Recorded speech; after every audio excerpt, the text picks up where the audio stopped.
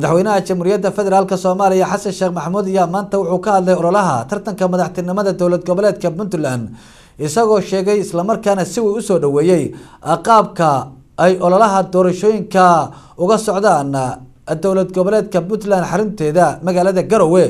Waxa uu ammaan u jeediyey xildhibaanada baarlamaanka dowlad goboleedka puntland oo ku tilmaamay inay si hufan u doorteen guddoonka cusub ee baarlamaanka dowlad goboleedka puntland waxaa kaloo u mahad celiyay musharaxiinta doorka muhiimka ay ka qaadanayaan ololaha xilka madaxtinimada dowlad goboleedka puntland oo u dhacaysa si nabadgelyo ah.